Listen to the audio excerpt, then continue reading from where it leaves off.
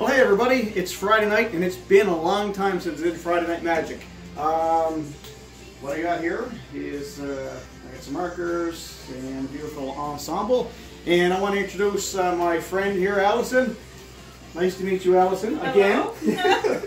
so say hello to everybody. Hello, everybody. All right, Allison enjoys my magic, so I figured I'm going to do something with her tonight. Uh, so what we have here is we have four markers, okay, and uh, we have a picture of a Moa. Now, uh, it's an 80s picture of me with the cool sunglasses. I'm going to get you to take that.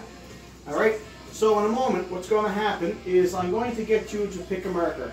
Okay, I'm going to turn my back in a moment. Now, when you pick a marker, don't think about it. Just grab it. If you, instead of picking one up and putting it down, grab another one. I want you just to pick one marker when I tell you. Intuition, okay? So go ahead now. I'm going to turn my back this way. Pick up a marker, Okay. okay? Uh, I want you to put it back just for a second. I just want to make sure you're following instructions, okay? That's great. Now, let's do it again. Pick up a marker now. You got one? Yep. Okay, so what I want you to do is to take the cap off it, and I want you to color in uh, my tie. Color in the tie. Doesn't have to be perfect.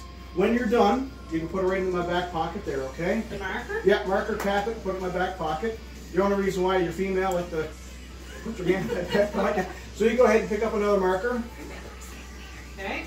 You got one? Yeah. All right, I want you to get a little smell. I want you to color in my hair. And when you're done with that, you can cap that and you can put it right back in next to that marker there.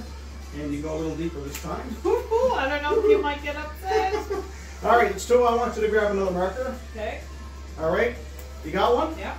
Uh, what I want you to do this time is take it off again and let's color in my uh, shirt. Let's color in the shirt. Like I said, it doesn't have to be perfect.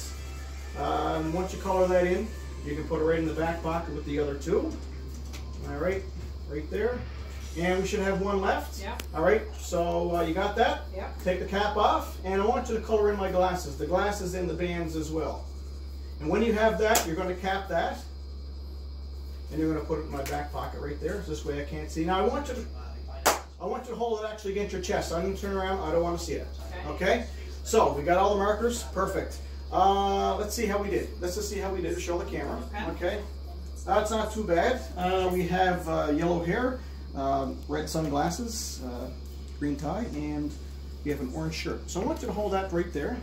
So you take your glass of wine, hold that there, and believe it or not, I have a prediction here. Wouldn't it be something if I have the exact same color matching that? Wouldn't that be something? Yes, it would be. So just give me a second. Uh, yellow here. Oh, there.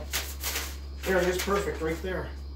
Now you probably don't think. Oh, wow. I know you probably don't think it's too much of a trick, but look, hold on to that. Yeah. And in fact, I have uh, nothing in this envelope right here. But what I do have is the exact same picture there. Ah! I have the exact same picture there, have the exact same picture there, and have the exact same picture there. Wow. Thank you very much, guys, and hope you enjoyed.